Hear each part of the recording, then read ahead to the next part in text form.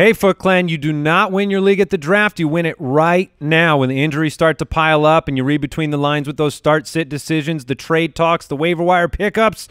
We are here to help. If you become an official Foot Clan member, not only do you get access to an extra episode every week, but you get access to the Stream Finder tool, the Start Sit tool expanded version, the Flex rankings, the premium projections, the Snapshot tool, a free copy of the Ballers book and community access and our new Injury Blitz podcast too.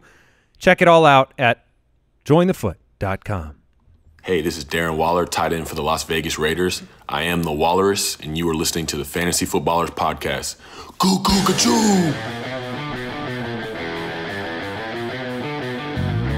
Welcome to the Fantasy Footballers Podcast with your hosts, Andy Holloway, Jason Moore, and Mike Wright.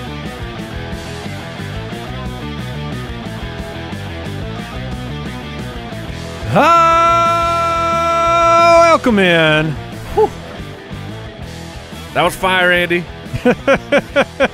I know that was simply a makeup for what Ah, you d- the disrespect that you just placed upon our man, Darren Waller, cutting off the goo goo gajoo. Shame on you. it's like we like we didn't have the control to fix that. But no, we needed to get into the episode because it's an, the most important waiver show we've had of all time. in a while. So many injuries. If you made it through without an injury, congratulations. Uh, you have an advantage over the rest of your league because you are in the minority. But we have a we have a great show today. We have our quarterback streamers on the episode. We have the big waiver uh, breakdown. Some news to talk about. Had a great Monday night football game. I love the NFL. That's great. because things like last night happen all the time. Uh, the the difference between great and you know not so great it, it's just so tight in the NFL. And the Raiders had a uh, Derek Carr. Derek Carr had an absolutely outstanding game. Send in the car. Send in the car. You must have been so happy. I am thrilled between Josh Allen and Derek Carr to start the year. They're a combined four and zero. Derek Carr had an uh, like uh, just an incredible game, passing to 11, 12 different receivers, getting But the ball. one. He pa- everything was to Darren Waller. That's how I saw it. Yeah, yeah, the majority That's was. how the box score sees it as well. I don't understand how he turns invisible until the catch. yeah, because he's gigantic and a walrus. I just don't understand it because they they just didn't cover him. I mean, plays that you would think, all right, we're at the goal line. If a player leaks out, who do you think it's going to be, New Orleans?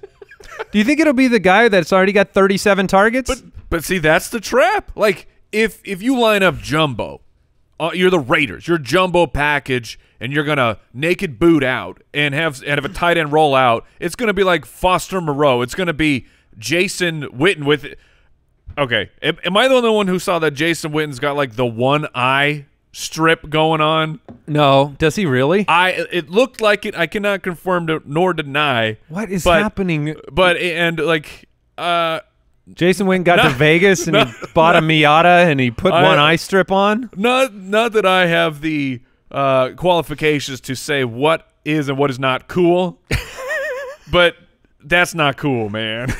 Like, you're, you're Jason Witten. You're not nearly cool enough but here's to the pull, thing. pull off a one eye strip. I'm very- You're, you're not Tyrann Mathieu. I'm very confident that whatever Jason Witten does, that then becomes officially uncool. Oh no! So it, yeah, it It's- confirmed. it's the old dad when he starts. It's like when when dads start dabbing, and you're like, "Uh oh, Dabbin's out. We got dabbing's gone. he did dab on the field too yesterday. Probably. No.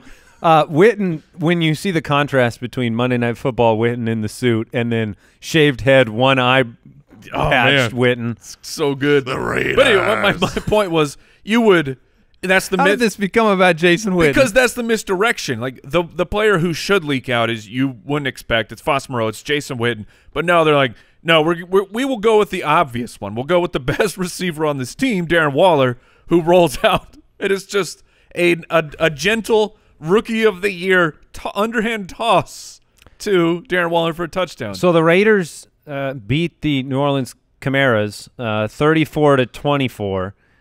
Alvin Kamara had 13 carries and nine catches. This team didn't look the same on offense without Michael Thomas, but an impressive game. Josh Jacobs had 27 carries. Really wasn't a huge fantasy game for him, Uh, he but kept 27 carries and three catches again, which is, you know, you like to see that number three or above every week for Josh Jacobs. Jacobs was also in and out of the game. I'm not exactly sure what his uh, what he was struggling with. We saw him on the sideline getting like his his thigh or his hip flexor getting worked on. You saw him get so he went out, came back in, then got horse collared, tackled, and kind of got a little shook up from that. So it, yeah, he went in the blue tent. I think he's fine, but it's it's something you're going to have to pay attention to. There were 34 total targets, so 30, 34 targets by the receiving core in Las Vegas, and 16 of them were Darren Waller. How many uh, pa- passes did Jalen Richard catch? Are you making fun of the pronunciation? Is that how we say? It? I like. I've never heard it until last night, and as soon as I kept hearing Richard, I was like, "Are we saying it wrong?" I don't know. Uh, maybe. But if it is Richard, I am in on that. That is fun to say. Any other takeaways from the game last night? You saw Bryan Edwards with a couple of receptions, nothing too spectacular. Only one for Henry Ruggs. Tre'Quan Smith, five for 86, looked That- like the best receiver there. Yeah, but I mean, the reality is, Ooh, one of- Emmanuel Sanders. Oh Yeah. goodness! I mean, there's the question of can you drop him? Yes. Yeah. If he can't show up in this matchup in this game without Michael Thomas, you it's then he's irrelevant. Um, but Michael Thomas was my big takeaway.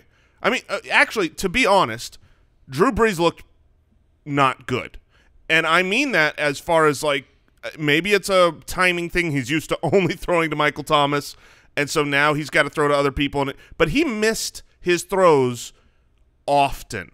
Uh, you know, the throws were short. The throws were a little too long, uh, left, right, and center. If he wasn't dumping it off to Alvin Kamara, it was a difficult catch for the receiver um, too often, way more than you ever see Drew Brees throw. So I don't know if it was, again, just missing Michael Thomas, but it, it gave me a little bit of the worry, a little bit of like, I had the same one. oh no, yeah. Let's, I'm I'm I'm reserving judgment. But if next week Brees comes out and looks off, I mean, at some point age catches up to people. I'm not saying it's here with Brees, but I am saying I'm watching it now. 41 years old, was not driving the ball down the field.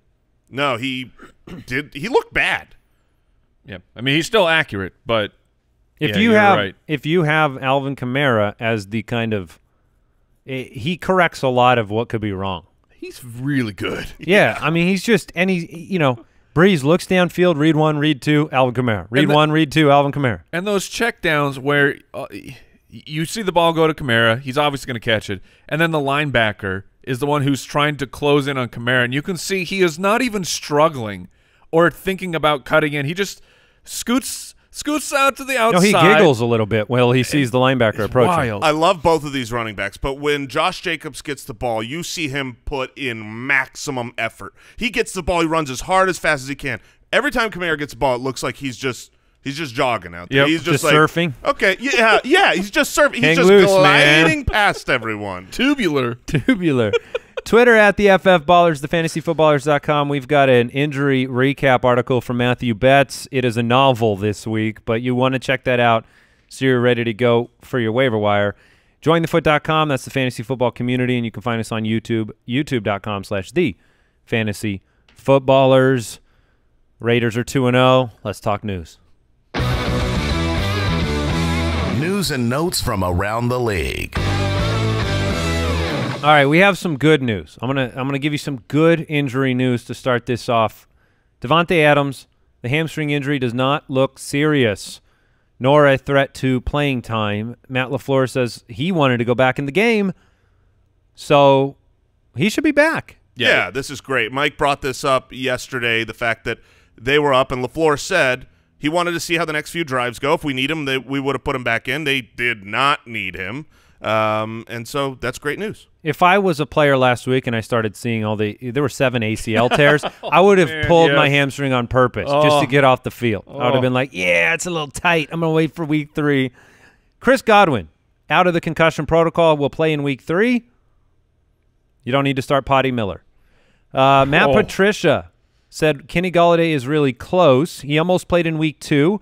The Lions didn't want to risk an aggravation. I think that is wise. This Got- is great news. Got I the just- sandpaper out. I love hearing this. That's just fun stuff. Davante Adams, Chris Godwin, Kenny Golladay. Yes. Week three, fantastic. All right, enjoy enjoy And that now- news. Uh, let it wash over you. Take a moment, and here we go. Now, Jason, in our league of record, where you were two and zero, and we face each other this week, and Mm-hmm. it's going to be you know quite the battle. You have um, a player named Christian McCaffrey. Had Had he Yes. is he is going Did to you be drop him? yeah. Oh. I will, I will, I'll go pick him up. Ah, four to six weeks with a high ankle sprain, The the thing is, is and with, you you got off better than the Saquon owners. yeah, with Christian McCaffrey, um, th- they are going to. He will come back early, like four to six weeks. That means he's going to be out three weeks, and when he comes back, he will be not one hundred percent. I was gonna ask It's you, It's what we yeah. saw with Alvin Kamara and Saquon, and yet you will one hundred percent have to start him. Oh if no! he's on So the you field. know you know your future and the trap you're in. exactly, and I do not like it. You're walking in the jungle and you see the trap and the leaves set over it, and you're like, "I'm going in." So I double what if negative. it's not a trap? I, I double negative. I then went and traded for James Conner. Yes, you did. So look, two wrongs. Let's make a right, baby.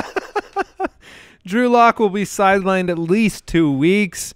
Oh my goodness! That means that the uh, the Denver Broncos they had to go out and they had to make a transaction. Got to get a backup. I got a snake, man. yes. Blake Bortles a one year deal. Now is he backing up Jeff Driskel? Oh, yeah. Look, the the Broncos have a plan, and it's for one big score for Jeff Driskel. Uh, Jeff Driskel is fine. Uh, we, we saw him in relief in Detroit, and How did Bortles slip into this third tier of? I mean, I assumed he was a backup at least. at, at, yeah, he I mean, he was the Rams' backup at one point. I know, I'm not sure. know. I'm not sure what happened, but yeah, it it will be Jeff Driskel, I believe, moving forward. And it seems like there is optimism that the the two weeks given for Drew Lock it will be accurate, and he'll be back sooner than later. So Blake Bortles is just here. Oh, Courtland Sutton. ah, This was a little bit of a surprise because we didn't know how bad the injury was. He's out for the season with a torn ACL.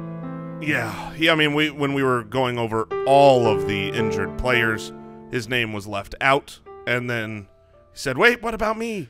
yeah. And then it was the news was well, he kind of tore up his knee, and you go, Well, what does that mean? what? What? What does that mean? And it and was it meant bad things. it was a torn ACL. So Jerry Jeudy and Noah Fant, Fant. become clear. You know, look, the quarterback play is not going to be great there right now, but the targets have to go to someone. Those two will benefit if there are plus matchups. I think both of those players are uh, going to be weekly starts. Uh, Jeudy and Lamb over the first two weeks of the year. Now with this injury, both seem very relevant for fantasy. yes. And uh, KJ Hamler. Yeah, we'll be talking about Hamler in the waiver part of the show. All right. Cam Akers diagnosed with separated cartilage in his ribs. That sounds bad. Uh, uncomfortable. That sounds terrible. yeah.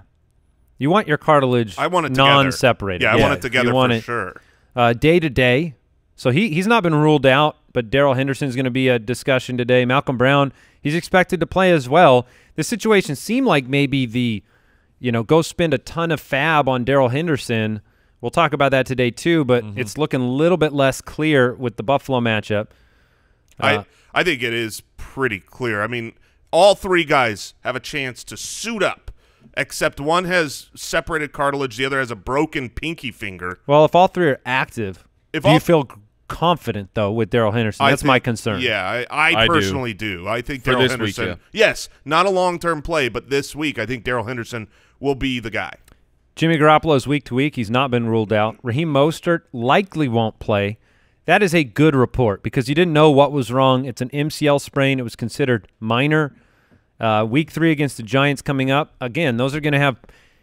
This is the challenge. I mean, the, the the report on Brown and Akers it impacts how much you might invest on Henderson. Now you guys are both confident, but then if Mostert does go out there, are you are you investing in heavily in McKinnon and heavily in in Jeff Wilson Jr. in this matchup? Not not Jeff Wilson, but I will invest heavily in McKinnon, Agreed. even if Mostert will be there, because Tevin Coleman is going to miss time, and we've already seen with Mostert healthy and being the complete lead dog, McKinnon is fantasy relevant. And now you've got Mostert. You know, he's even if he's active, he's not at 100%. They're not going to just lean on him and, uh, you know, give him 15 carries. I think McKinnon's going to be a great play this week against the Giants, and I'm expecting Mostert to be out. You playing through an MCL sprain? We got some stuff to talk about. Yes, we do. My name is Jeff. Uh, Parris Campbell out indefinitely, a PCL injury. Uh, Not even a timetable. And then we got even more news about Tyrod Taylor. Apparently, he was given a pregame injection and then had the shortness of the breath, went to the hospital. Um, the injection was for, you know, pain, dealing with the rib injury. He was going to play with a flak jacket from a Friday rib injury. They gave him an injection. He didn't react well to it. Anthony Lynn came out and demonstratively said Tyrod Taylor gives us the best chance to win. He came out and said, look, we didn't win this past game. Because you punted. oh yeah, I, I if if Anthony Lynn's opinion is Tyrod is the best chance to win, fine. Like I I can't really argue with that at this point of the season.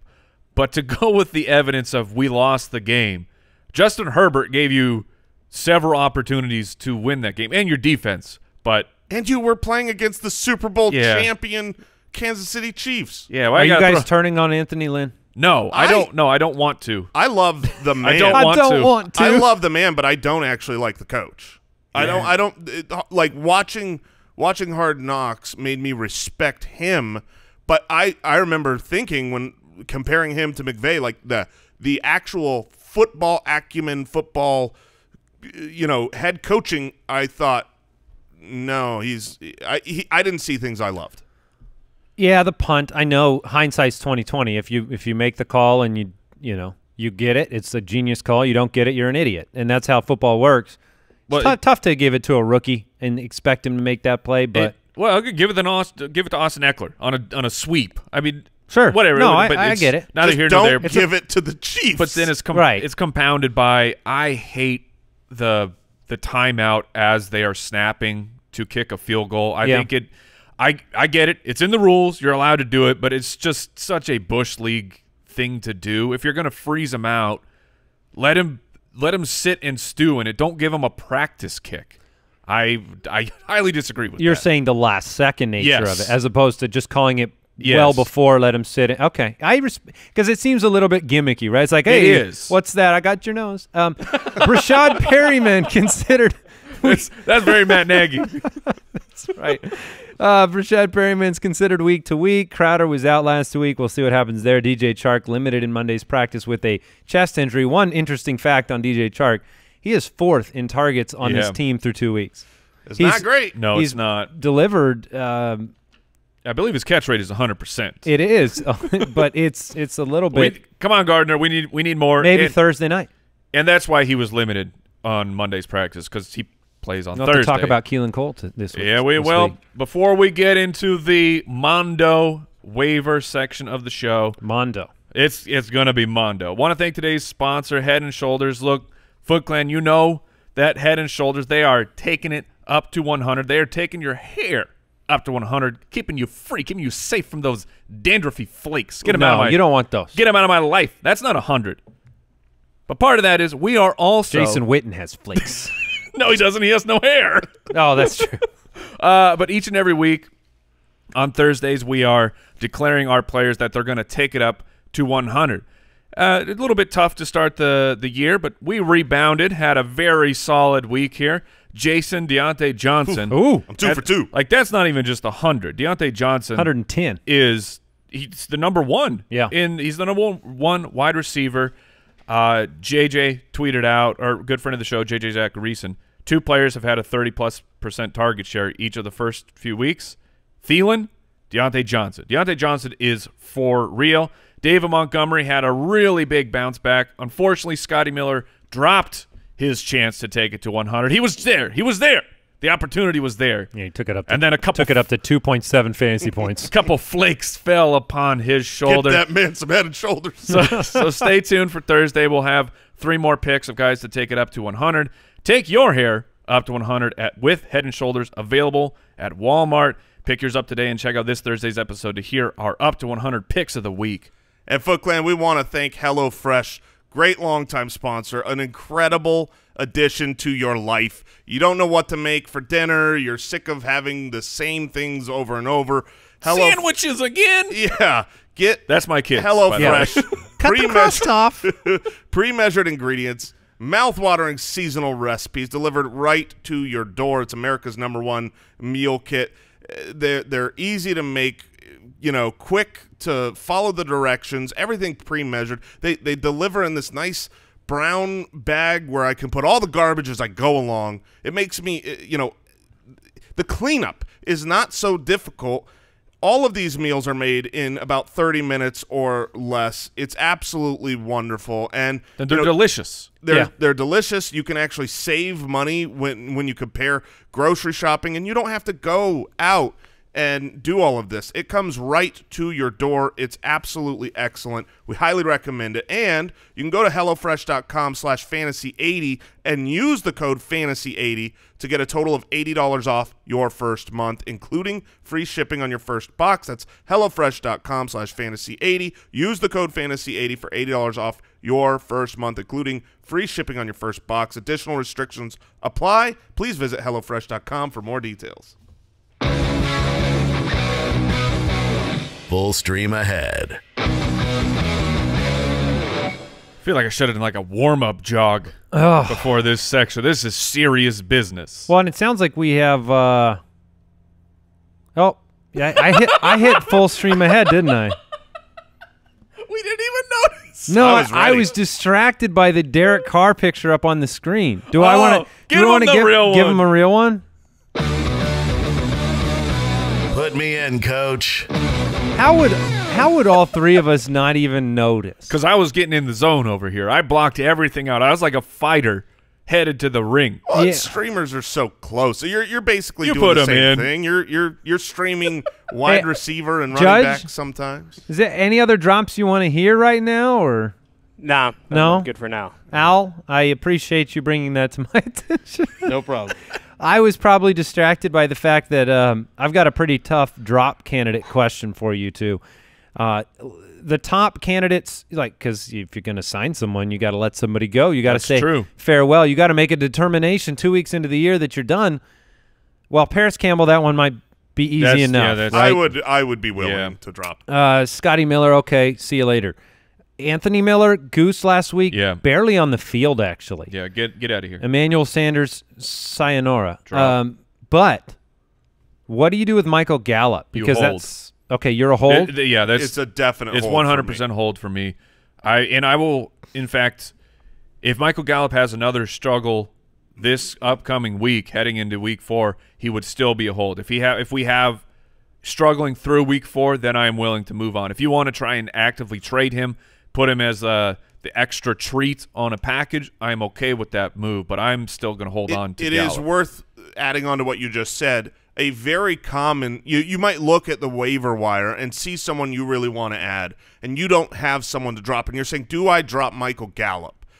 Th- That's where you go out. Hopefully, your your league does not have the giant you know trade windows of 24 hour monitoring. Get that garbage out of your league. But assuming you're not, that's a like perfect processing, strategy. you're saying 24 hour processing. Yes, exactly. yeah, to veto Uh, because you should vote and veto these trades. you should never so veto stupid. a trade. Um, but you can you can add Gallup to another player and go trade a two for one deal to upgrade that other player, and that frees up a spot to add. It's not just Gallup and Love. Joe Mixon that you're trading for uh, Josh Jacobs. It, it's you're getting Josh Jacobs and someone off the waiver wire. Yeah, I think I view Gallup in the same range as Russell Gage right now because you have multiple options. We'll talk about Dalton Schultz today. So you got four different targets in Dallas to kind of hope you get right if you put one in your lineup. Sterling Shepard, would you drop Sterling Shepard? Yes, uh, especially with the the turf toe problem. All right, let's start at the wide receiver position with some waiver pickups. Uh, I think the main pickups, the the uh, you know Jerry Jeudy is on the short list. He might be rostered. He's rostered in seventy four percent of ESPN leagues. That's not a likely candidate, but if he's out there, you should grab him.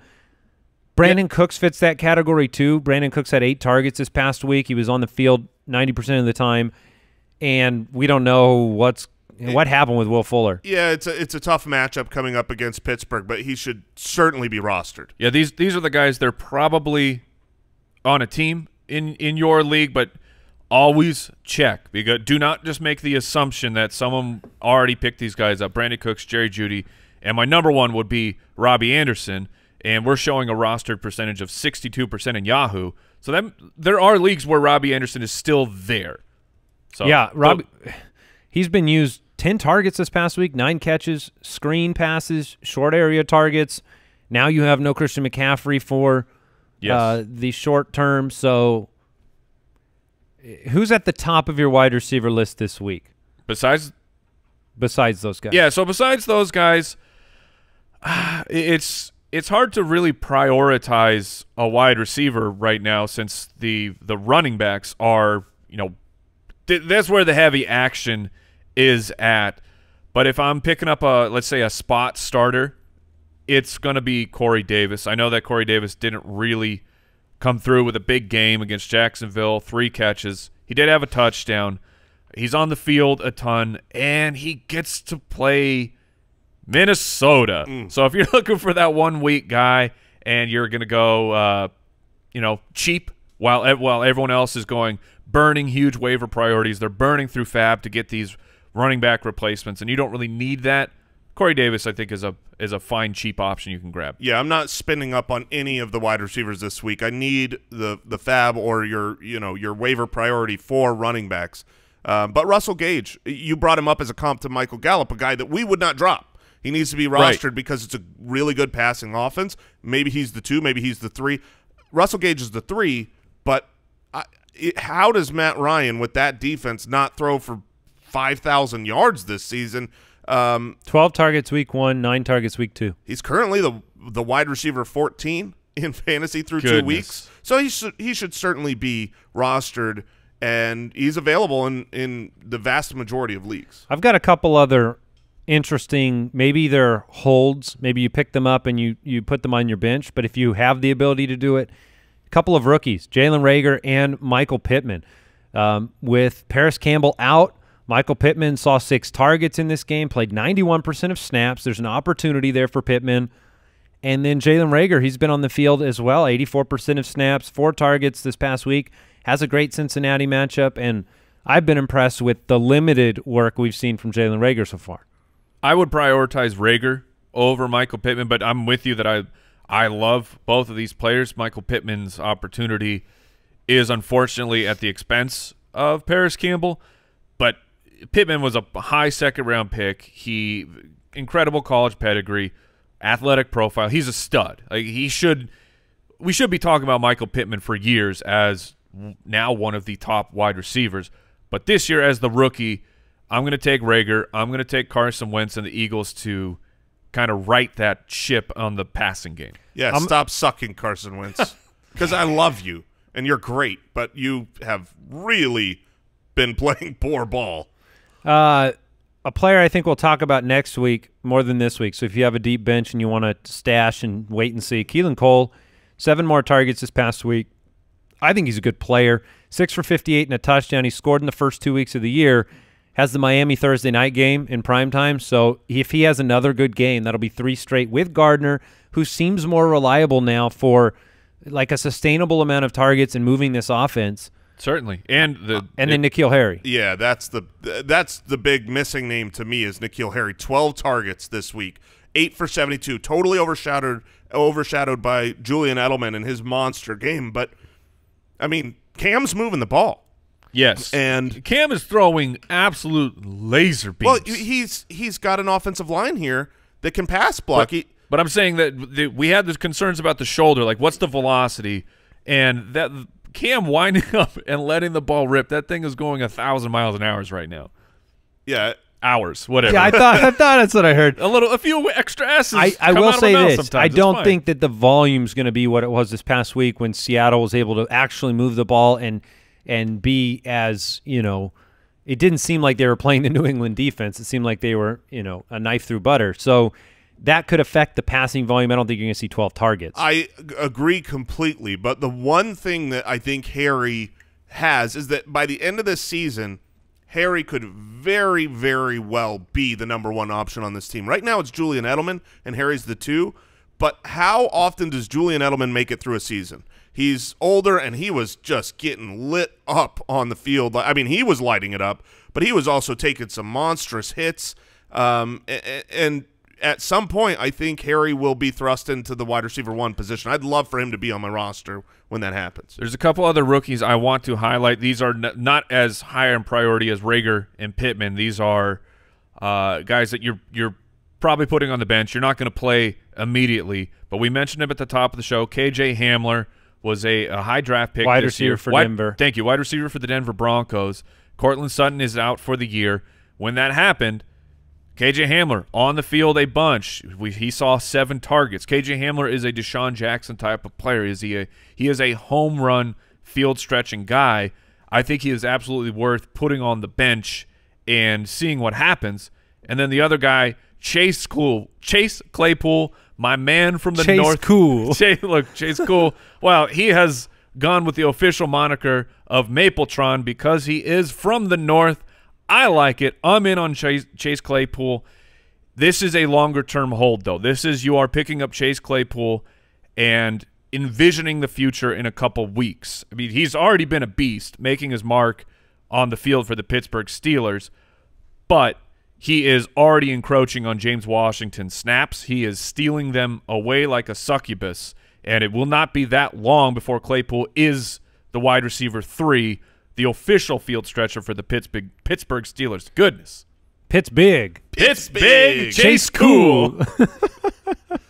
Uh, yeah, I think that's probably uh, pretty fair. If we're talking about Russell Gage or Michael Gallup, if Claypool takes over the number three role, which I think he's caught all five of his targets this year for a hundred and something yards and had the big play last week.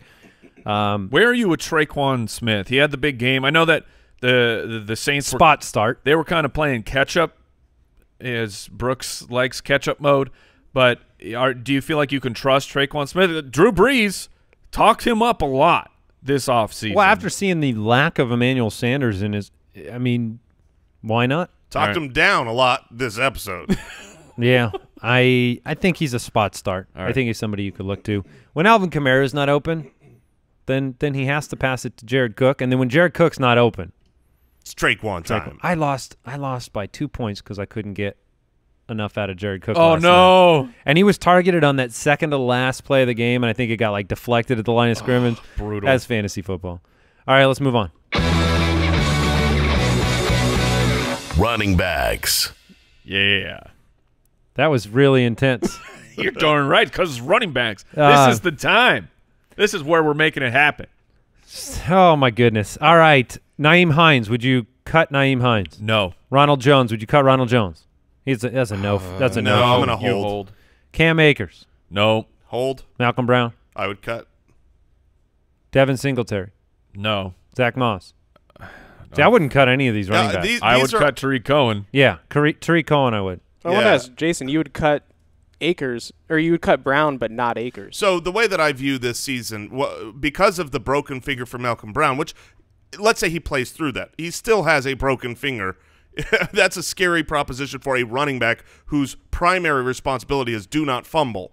Um, but as the season goes on, I think Cam Akers overtakes Malcolm Brown. I, I don't see Malcolm Brown as the guy who is going to hold on to this number one uh, of the three-headed monster role as the season goes on. So it's like if I can't start Malcolm Brown now, which I don't think I can, I'm not holding him for some future day where Cam Akers and Darrell Henderson take over as as the lead guys. All right, so this is where the major part of the waiver decisions are to be made. The running back position, Saquon Barkley out for the year, Christian McCaffrey out. How heavily do you invest this week? That is the question. It is just week three, but if you're the CMC uh, manager, if you are the Saquon manager, you've got to make an important decision on how much you invest on the big names this week, which could include Jerick McKinnon. Ironically, in all the leagues I'm in, Jerick McKinnon's already rostered. Well, I mean, he showed up week one. He already, he was already producing in the in the passing game, which is what we want our running backs to do. What's tough here But let, is- let me put the names out there, and, Okay, and go then you can you can weigh in. But Mike Davis, running back for the Carolina Panthers, had eight catches last week. Jerick McKinnon, we just uh, we've talked about what's going on in, in San Francisco, um, and then you know beyond those two big names, Darrell Henderson probably comes to mind. Where are you with these? Uh, put it in the context of how much FAAB you would you would bid. All right, my number one running back pickup of the week isn't on any of these teams. Is not in uh, a replacement running back for any of these teams. It is Joshua Kelly from the Los Angeles Chargers. He is still widely available, and he is locked in to me. His, his role is secure. 23 carries. He's getting some targets. He is splitting time with Austin Ekeler. He looks like he's going to be the goal line back moving forward for this team. So I actually have full confidence in Joshua Kelly's role moving forward. These other players, it's spot starts, it's uh, spin the wheel of the New York Giants. I feel more confident in Mike Davis, the backup running back for the Carolina Panthers, than I do any of the Giants. Jay, how are you viewing the running backs with the your confidence level? Yeah, I I, I think you bring up a good point in Joshua Kelly. I don't know that he would be my number one, but the nice thing is his is not temporary, right? Like Mike Davis, he out touched Austin Ekeler. Yeah, and and I think that was because of the surprising game script where they were up. Uh, we were expecting them to be down, and this wouldn't be a Joshua Kelly game. But they play against the Carolina Panthers this coming week, so Joshua Kelly's a guy you could pick up and start right off the bat, and I think you'll you'll be happy with the results on the other side of that same game. Mike Davis look, he's go he's it. You know, it's not like where the Giants you you go, is it Dion Lewis? Is it Wayne Gallman? I'm not sure. I'm not sure that I want to start either. I think Mike Davis is going to be an absolutely fine start. He's not going to come in and replace CMC. Goodness gracious, no. But he will be involved. He'll and, and he's a he's got a three down skill set. But how how much would you invest in terms of a fat FAAB bit? Let's say you're the CMC owner and you have to make a decision on Mike Davis, what are you investing percentage wise of your budget? I'm probably forced to put in 30% of my budget. You're not going to get him. I'm probably forced to maybe put just, in more. That that's what I mean of you Is he a must add for you yeah, as the CMC manager? 100%. I mean, I, I think you you desperately will need him uh, if if you need a start. Now, the nice thing is, and, and why I say 30% is because there are a handful. Jerick McKinnon is the next guy to me. Uh, I, I think I would like Jerick McKinnon more than Mike Davis because Jerick McKinnon's role could be season long, unlike Mike Davis's. It, once Raheem Mostert comes back and is healthy, Jer you could probably still start Jerick McKinnon. I could easily see Jerick McKinnon usurping Tevin Coleman when when Tevin Coleman uh, is yeah, back. I think that's done. The you know this is a good running team. The Kyle Shanahan system is good. McKinnon's looked good. I like McKinnon. He would probably be my number one claim. I've got a bold prediction for you in that Carolina backfield. I predict that Curtis Samuel will receive 10 rushing attempts I don't hate this it. next week. That's super spice. Uh, he I- had four last mind week with McCaffrey healthy. He is going to complement Mike Davis. They have Robbie Anderson and DJ Moore on the outside. I think Curtis Samuel is a very interesting speculative ad in play because he's going to receive, you know, some uh, attention in the passing game too. But if you can give him eight to ten carries on the ground, I'm just saying, it's, Yeah, no, it's I- interesting. I do not mind that at all. Speaking directly to the New York Giants backfield and projecting what I think is going to happen because we we don't know here, people. This is the, these are murky waters with the Giants backfield. Saquon is out. We know that Devonta Freeman is visiting Yep. the, the New York Giants. That does not mean that he is going to sign. If he does, you have to envision that Freeman is the guy. for sure. But I don't know if we are going to have that information before the waiver waiver wire runs.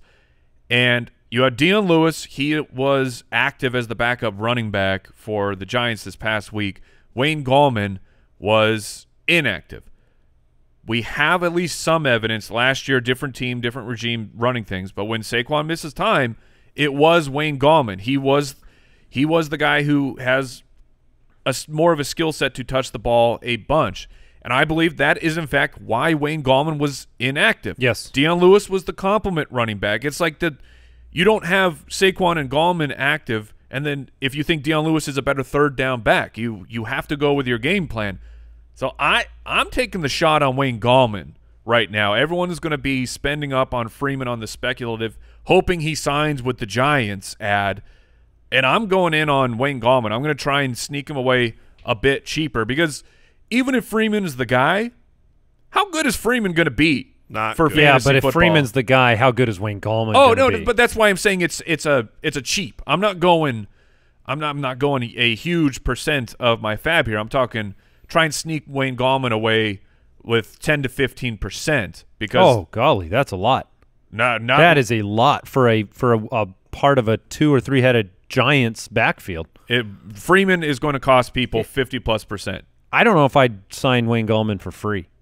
Oh, I would sign Wayne Gallman for free, and I, I would put him ahead of Dion Lewis. Certainly, um, I, I agree with Mike's narrative that he would be the primary running back, but I also agree that I wouldn't spend up for him because if Wayne Gallman comes in, he's not getting the Saquon workload. He's going to split. I would be signing Devonta Freeman over both of those players. Yeah, my my order would be Gallman, Freeman, and then I don't think I'd sign Dion Lewis, but Dion Lewis would be third. Ahead of all three of those is Darrell Henderson to me. Uh, I you know to me the the Mike Davis, Jerick McKinnon, and Darrell Henderson those are my main pickups this week. I would order them: Jerick McKinnon, Mike Davis, Darrell Henderson. Darrell Henderson has Buffalo this week, then the Giants, then Washington. It's just a little bit murky as to how many players will be rostered. I definitely see him as an ad. He was 12 for 81 and one last week. Had two uh, catches for 40 yards. Looked really good. That was the that was the Darnell Anderson we always dreamed for. I would say that Mike Davis has the most secure opportunity if Joshua Kelly's not available. That's what and this all this chatter. This is why Joshua Kelly is my number one guy. Yeah, and, and I would he's go more, hard. Yeah, he's more rostered. So there are you know 39% of Yahoo leagues as opposed to 6% for Mike Davis. So um, Jeff Wilson, Jeff Wilson My will probably. You you got to remember last year he he received goal line work in this offense. He did. He also scored on four of the six attempts he had inside the red zone. He did. and he will get that work again. Jerick McKinnon and Jeff Wilson will both be involved. I would be putting, um, if you can spend a lot less FAAB and you're just kind of adding somebody that you need a spot start, like Wilson's going to cost you a lot less FAAB. Yeah. Oh yeah. He he may go through unclaimed. They won't give McKinnon all the work by any stretch of the imagination in this offense. Not with him coming off the injury, not with the fact that Wilson's had involvement in this offense. Yep. Uh, this is gonna be so crazy. Yeah, it- it's- I just can't wait to see how all these chips fall. It's it's unbelievable. I do think. Look, Jeff Wilson's always been good, and and I agree. But McKinnon, McKinnon's gonna have a really good fantasy stretch uh, while Mostert's out. Let me ask you this: If you, i- if let's, we're going to take McKinnon out because I think that you can get him for a little bit less. Would you, with how crazy and murky this is, with no real information at the time of this recording, going in on uh, a waiver that's going to run Tuesday night, early Wednesday morning, depending on your system, would you punt on those guys and let the rest of your league spend the I'm telling you, you're, you're going to see 60 plus percent of FAAB spent on Davis, Freeman, of these just like I'm hoping. Meanwhile, you have Frank Gore, starter for the New York Jets, who will see carries. He will see some targets, 21 carries this past week against San Francisco. for 63 yards. I, I I get that, but San Francisco is a very good defense. Uh, he's going to play the Colts, or even plug your nose, Myles Gaskin, who saw seven targets this past week. He's over sixty-five percent of the snaps for the Miami Dolphins. Or are you gonna try and sneak those guys off, or would you rather get your chips in on the the high stakes players from the Giants and Mike Davis from the Panthers? I am not as excited about all of these running backs unless I am the CMC or you don't. Saquon. You, that's what I'm saying. A lot of people don't have a choice. I, I understand, Mike. What I'm saying is I'm not so excited about the top end that I, I, I'm kind of agreeing with you. Okay, That I'm okay. willing to, if I'm two and zero, and I'm and I have FAAB that I want to save, I don't want to drop 60% of my FAAB budget on Mike Davis for a couple speculative starts, not knowing exactly what it's going to look like on an offense that we haven't seen a lot of. I would rather get a spot start out of some of these other other names that you're mentioning, not Myles Gaskin. but but Frank Gore, I'm fine with a spec, you know, a one week Right. Filling of Frank Gore. I'd rather the only player that's worth a big FAAB investment to me is Joshua Kelly because of the long term implications. That's where I'm at. Yeah. Brutal. Yeah, I mean, I, I, I personally would have McKinnon up there as well, but uh, that's all a matter of what you believe happens. I think McKinnon is relevant the rest of season and dominant the next few weeks. Dominant. I, I that's that is my current belief. The He the had running four back touches last week. the the running back for the San Francisco 49ers will be valuable. I, of that, I'm confident. And then I'm also confident that he's the running back for the 49ers, the primary running back for the next couple weeks. So you put those, you know, one plus one. Got some equals- algebra going I- on. I hope it equals two. It all did, it just comes down to Mostert's availability. If he plays this week, I don't know if he'll feel the same, but we'll find out. Tight ends. Dallas Goedert flopped last week. Um, disappointing. Chris Herndon, I think you can let go of the dream, Yes. which Here's- sucks because I I really Here's like we- Chris Herndon. Here's what you do for with Chris Herndon. If you're uh, playing Dynasty, you try and go get Chris Herndon real cheap and hope that Adam Gase is gone because the players that get away from the black hole just end up being good. We have another Robbie example. Anderson. Robbie Anderson. Look who's really, really good and was not Kenyan Drake, Ryan Tannehill. It, the, the list just goes on and on of his ineptitude. So, I mean, that's I'm, I'm being a little jocular here, but also Chris Herndon, once he gets away from Adam Gase, is going to be a good player. Main waiver wire pickups, though, at the tight end position have to be Jonnu Smith and Mike Gesicki. Um, you also can look at Dalton Schultz after the monster week, but Jonnu Smith is still set up against Minnesota this upcoming week. Gesicki's on Thursday night after the breakout game um, facing Jacksonville. Who do you prefer out of those two? I, I like both players quite a bit, but Jonnu would be my guy. For me, too. uh, you know, early from draft season, he was, you know, bizarrely my tight end seven, and he is broken out. He is necessary with the current injury, and his matchup against Minnesota is phenomenal. But I'm very happy with Gesicki as well. I'd I'd bid heavily on those two. I mean, they're probably you know they're available in about half of leagues, maybe a little under half if you're on Yahoo. Um, but they're out there to a lot of leagues, and I would make sure. Like if I had a good tight end, I would still sign these guys. They're too good to be on uh, on the waiver wire, and they're going to be like I don't draft. Would you drop. Evan Engram for either of them if you had if you didn't want to roster two? I would, yeah. If I didn't want a roster two, I'd rather have Jonnu Smith than Evan Engram. I just traded Evan Engram as almost a throwaway to get Noah Fant um, because I I believe in Fant and Jonnu Smith and Gesicki as those hopeful breakout potential guys, and I'm sick of Evan Engram. You just don't want it. You don't want the experience. I you know I bought in for the first time, and it's it's been one of those what's your return policy purchases. Oh, no. How long do I have to make an exchange? Uh, Mike, Dalton Schultz, Mo Alie-Cox, Jordan Reed. Put those players in order. Uh, it would be Dalton Schultz would be the, the top option here. Would you like to make him a my guy? Uh, like I said, anything Dalton Schultz does, It's I'm- the proxy for I'm Blake. taking the credit for it, baby, because the opportunity was there for Blake Jarwin, and Blake Jarwin is a better player or better pass That's catching that's tight tough end. to say after how Dalton Schultz is playing.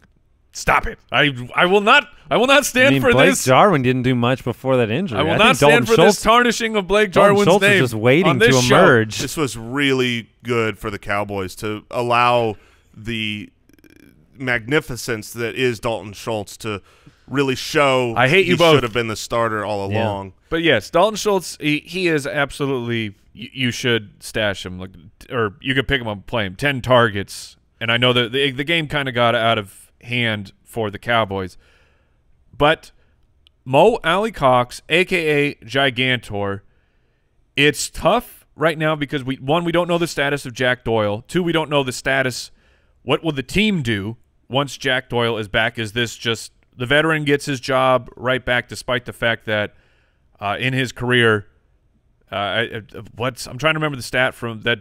JJ's yeah, like yeah. the fourth no, I remember the right stat. now. yeah, it was basically there's been 30 times when Jack Doyle's had five or more targets as the tight end of the Indianapolis Colts, and he's had one 100 yard game out of those 30 games with five or more targets. Mo Alie-Cox has had one game in his career with five or more targets, and he has one 100 yard game. He is gigantor, man. People, if you have not seen Mo Alie-Cox, he is just he's the biggest man I've ever seen in my entire life. This is a Paul Bunyan situation, moving back to reality, Mike is a bit obsessed with his physical size. back to reality, the team is better when Mo Alie-Cox is out there stretching the field. He can do things that Jack Doyle cannot. But you're not you're not gonna you're not you're not gonna put a huge amount of FAAB on him because you just you don't know if he will actually have the starting role. It's not He's- long He's term. free. I mean, uh, you, you don't have to. You if you want Mo Alie-Cox, you can go place, you know, one percent or a zero dollar bid, and you're and you're fine. Now, here's a name I really want to bring up because I actually I would rather have him than than Mo Alie-Cox. I would personally rather have him than Logan Thomas. It's Drew Sample, and here's the thing: You want Drew Sample more One- than Logan Thomas? one hundred percent. Who's You're a wild man. I call me wild. It is I very just did. It is very rare.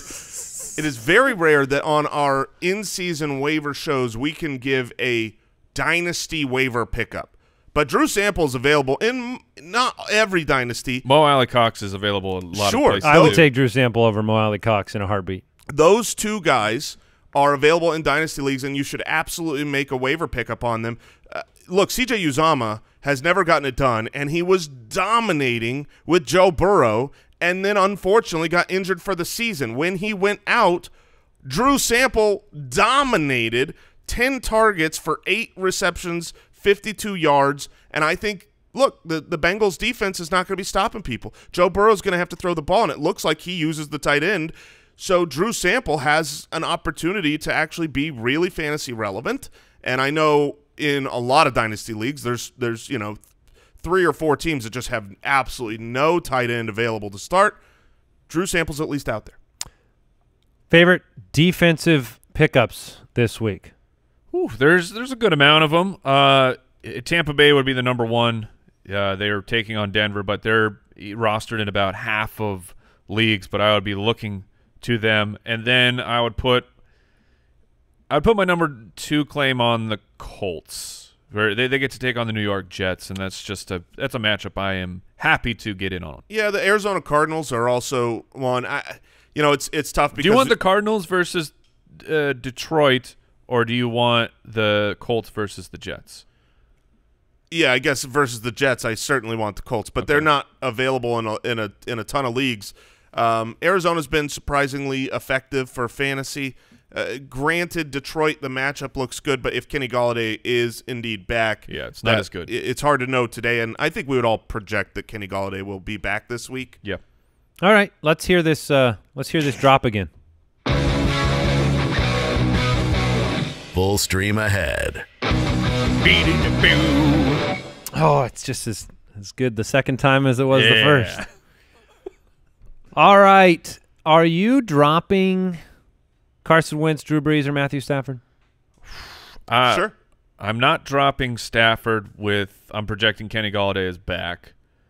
Man, Carson Wentz I would be willing to move on from. Drew Brees that's brutal. You're you're willing, you're already willing to pull the plug and So I, I agree with what you said. Stafford, I'm not dropping. I think Golladay's back, and Stafford should be should be a good fantasy option. Carson Wentz is done for me until i- i- he's he's looked poor. His receiving options aren't the best. I am totally fine moving on and then picking him back up off of waivers if he has a good game. I, I just don't think he's someone you you have to grip tightly. Um, and yeah, then- this is the point of the year when you have to, if you want to be a good fantasy player, you have to let go of what you thought would happen on I- certain players. Yeah, I mean, instead of rostering Carson Wentz as your backup tight end, waiting and hoping he gets it together. If I could, you know, it, it, and I and I picked up someone else to play, I would much much rather have a Jerick McKinnon or Joshua Kelly, where it's like than a second backup quarterback. Um, did I say You did say tight- backup tight tight end. end. Yeah, All that's okay. That's we fine. let let you just keep going. All right, so for a streaming candidate this week, Yeah, Mike, who you got? uh, I have Mike's pick, but um, he got it in first, so I'll share mine. This is gross. He's not a good quarterback. He will never be a franchise quarterback. But this is the point of fantasy football. You can stream mediocre quarterbacks in a plus matchup and be absolutely fine. It's Mitchell Trubisky, the Chicago Bears quarterback, currently a top 15 quarterback. He's been okay. He lit it up in week one, and the thing is, is he plays against Atlanta. Oh, Are you in love? I am. I, I, mean, have, this is the second time you've picked him. I have uh, Mitch. If you're listening, you're not good, and at football. Um, but He- quarterbacking. he- did you get? Will you give him credit for a great, great start last week? Great. I, he was he was really really good.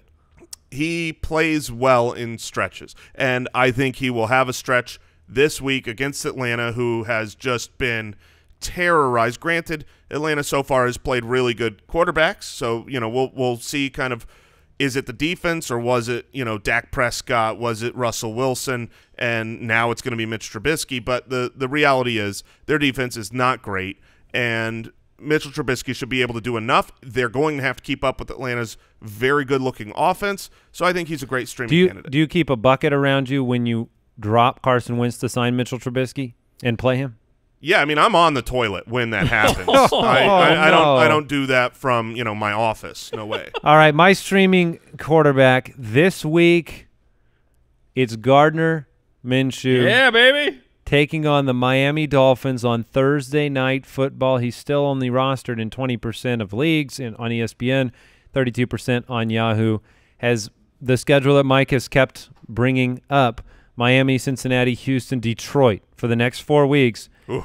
I will be disappointed. Like if, if DJ Chark can't play on Thursday, one less, you know, kind of big play option for Gardner, that will make it tough. But he's just getting it done week to week. I mean, the first two games of the of the year have been nothing short of outstanding for Gardner. I mean, he had uh, he went from completing 95% of his passes, Mike, down to a mere 67% this past Mm, week. Very disappointing. Three touchdowns each week. Um, very looking very reliable. And and when you get through week six before the bye, he might be a top ten tight uh, tight end.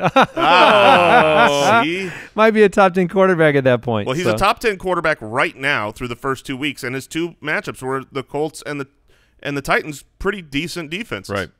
Yeah, I, I love it. Love Gardner moving forward for this next stretch. I've got Ryan Tannehill, Minnesota. Man, it's uh, it's not good up in the north for the Minnesota Vikings defense, and to be fair, the offense. It, it looked pretty rough last Other week. than the offense and defense, though, a lot of optimism surrounding the franchise. and uh, Anthony, they just lost Anthony Barr. Like the, the defense hits just keep coming and coming for the Minnesota Vikings. They're bleeding fantasy points. Ryan Tannehill, uh, not as available as Gardner or Mitchell Trubisky, but if he is, you're firing him up this week versus Minnesota. The bandwagon, the Cardinals bandwagon, is available to all Vikings fans over the next few weeks. Oh, certainly, and it's it's been a fun ride. Yeah, it's it's been good. All right, we want to thank Pristine Auction for supporting the show. A DJ Moore signed jersey, fifty-five dollars and forty-seven cents. You have to you have to pay the forty-seven cents as well. Oh, But there's hundreds of daily auctions. I just traded for DJ Moore in the listener league. Did you guys see that? I saw it. I made did a- I- it was essentially I, I moved uh, Lamar Jackson, and I moved Oh, did Kareem Hunt, you went and got Kyler? and I got Kyler, Yeah. and I got DJ Moore. That's because, an Andy special. Yeah, yeah. Well, my my son is uh, also co-managing that team with me. Pretty big Kyler fan out here in Arizona. So use the registration code BALLERS at pristineauction.com to get a $10 credit. That'll do it for today's show. But we'll be back tomorrow with another one. Great news, everybody. Make sure you're staying safe out there. Good luck tonight on your waivers. Make the right choices. Goodbye. Thank you for listening to another episode of the Fantasy Footballers Podcast. Join our fantasy football community on jointhefoot.com and follow us on Twitter at the FF Ballers.